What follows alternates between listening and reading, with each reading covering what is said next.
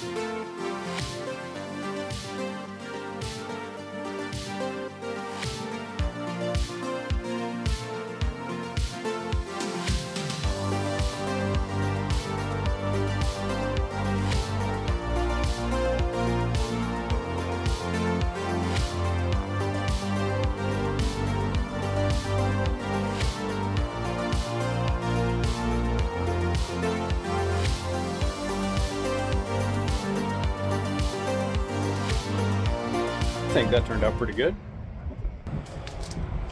Got the new wrap console in place. Looks good. I'm happy with that.